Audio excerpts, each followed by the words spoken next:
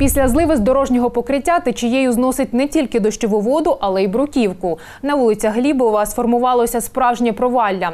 Яма сягає півтора метри. Районна адміністрація про пошкодження дороги вже повідомлена. Однак відповідальність за утворення дірки скидають на Львівводоканал.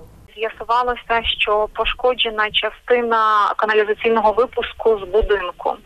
Власне, це перебуває в компетенції адміністрації. Таку інформацію ми передали в Галицьку райадміністрацію для вжиття заходів.